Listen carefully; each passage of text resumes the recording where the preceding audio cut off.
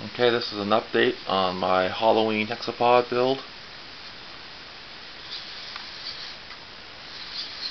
Oops. I'm trying to have it walk slowly. I don't have the the gait adjusted correctly yet. It takes too long of steps. But I can have it rotate in place.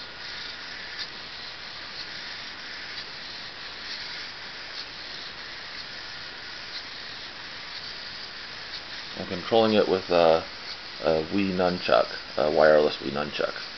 You can see all the wires hanging out the back end there.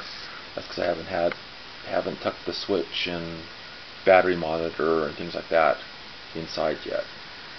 I'm gonna have it back up towards us a little bit. Oh, see, and the the stance, the gait is too long, and so the legs bump into each other. I'm using the same program as with the little hexapod.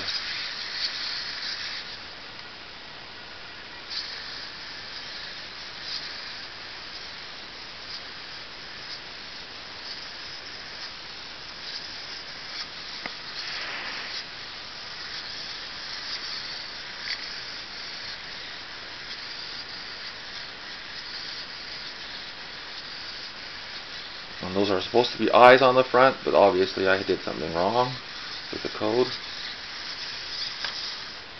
I'm trying to walk, have it walk slow, because if it goes too fast, it bangs into itself. Walk forward again. Whoa.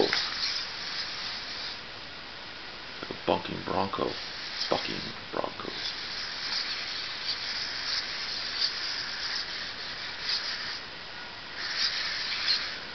Okay, obviously I have more work to do, but I think it's kind of cool.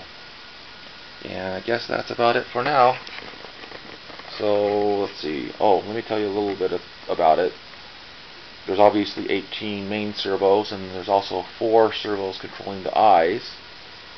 And I have a, a 3,000, 2,300 amp hour, no, milliamp hour um, LiPo in it, um, but it's like rated at 40C, so it can out output a lot of current.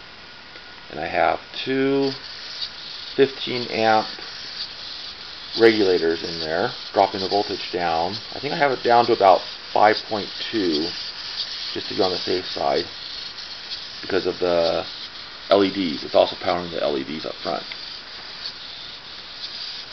Well, Still more work to do. Okay, that's it for now.